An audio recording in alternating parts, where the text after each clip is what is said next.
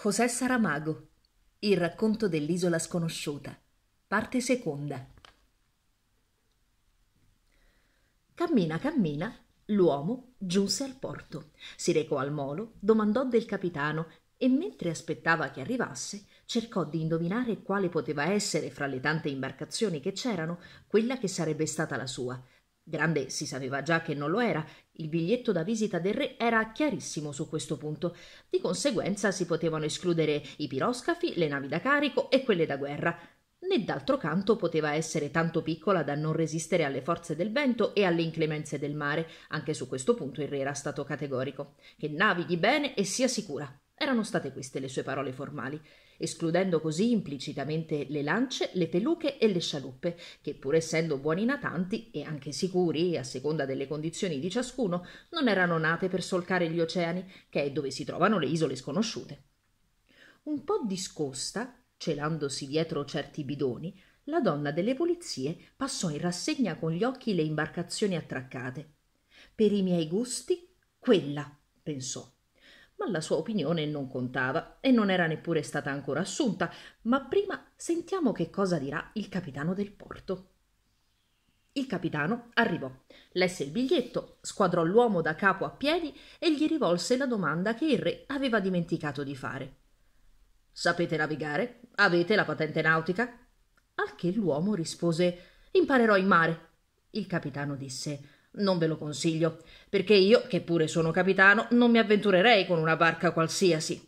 Allora datemene una con cui io possa farlo. Um, no, non una di quelle, datemi piuttosto una barca che io rispetti e che possa rispettare me. Questo è parlare da marinaio, ma voi non siete un marinaio. Se parlo come un marinaio, allora è come se lo fossi. Il capitano rilesse il biglietto del re.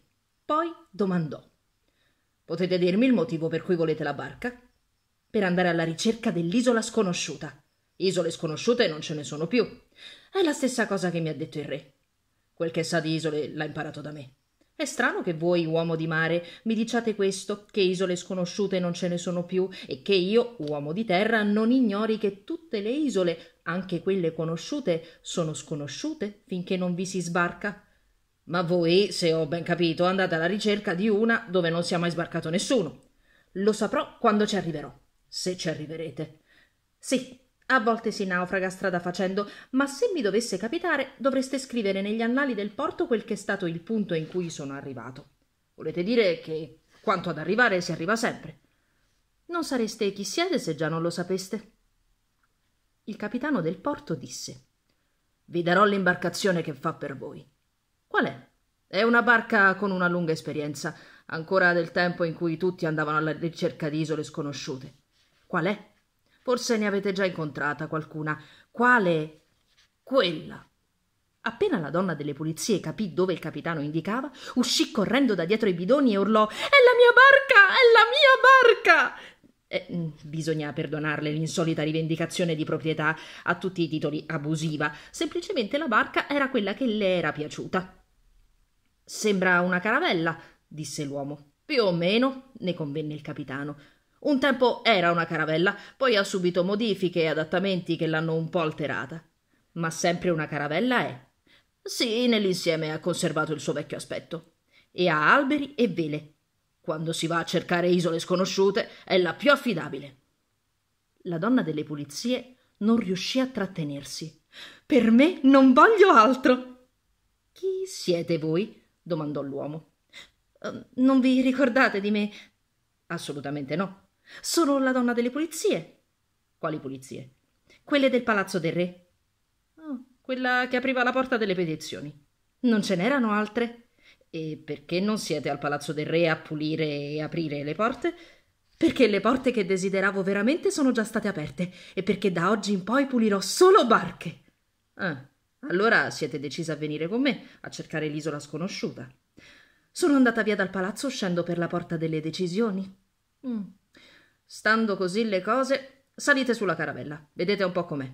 Dopo così tanto tempo avrà bisogno di una bella lavata. E fate attenzione, gabbiani, che non c'è da fidarsi. Non volete venire con me a vedere dall'interno la vostra barca? Avete detto che era vostra.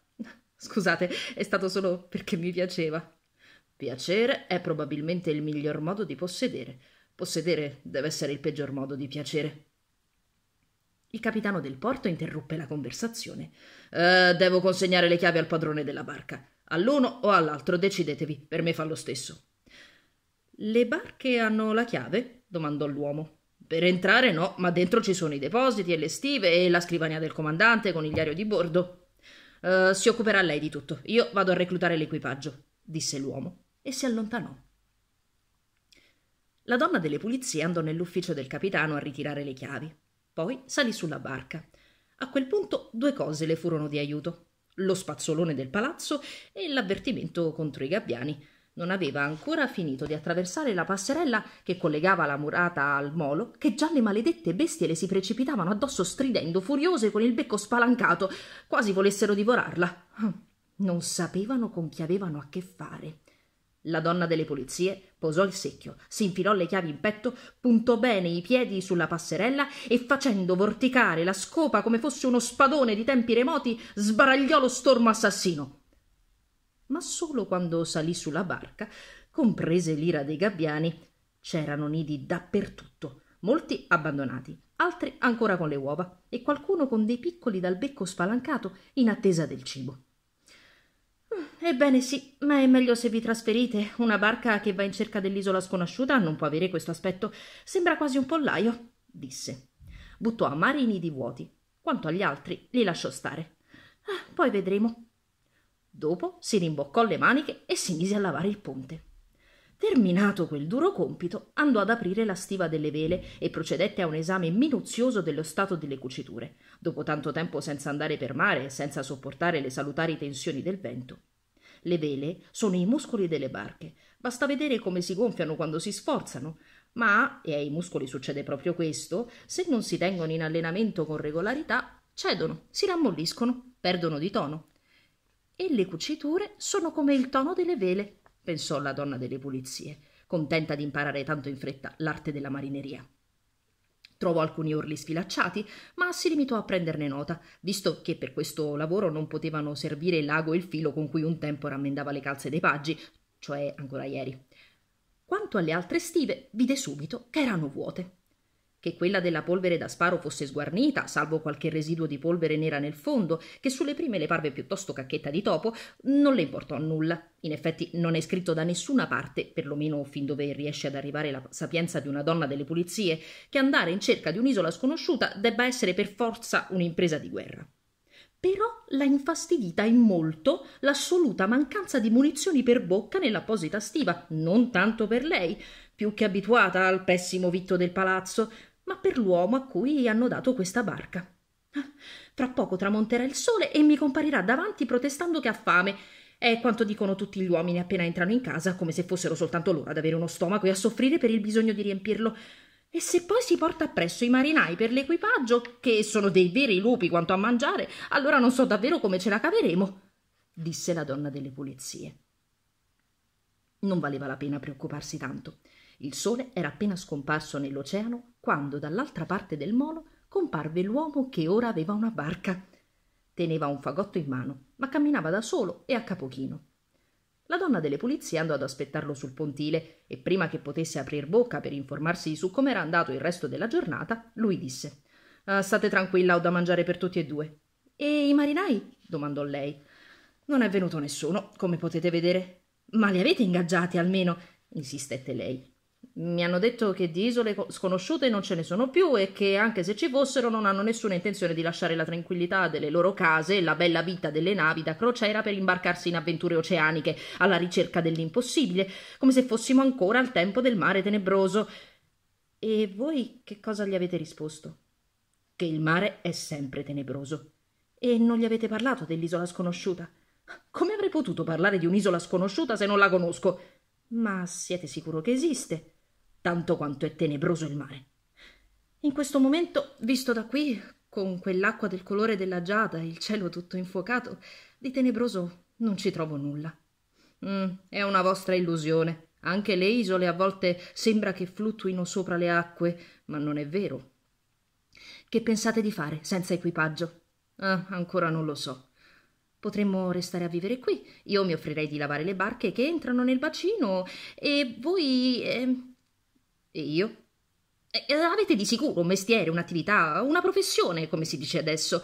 Ce l'ho, ce l'avevo, ce l'avrò se sarà necessario, ma voglio trovare l'isola sconosciuta. Voglio sapere chi sono quando ci sarò. Non lo sapete?